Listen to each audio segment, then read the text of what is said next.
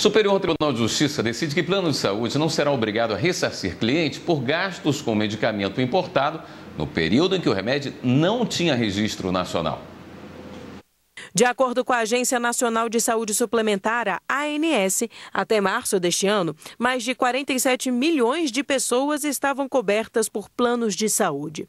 São mais de mil empresas privadas em atividade para atender cerca de um quarto da população brasileira. E para estabelecer regras nessa relação e nenhum dos lados sair perdendo, existe a Lei 9.656 de 98, mais conhecida como Lei dos Planos de Saúde.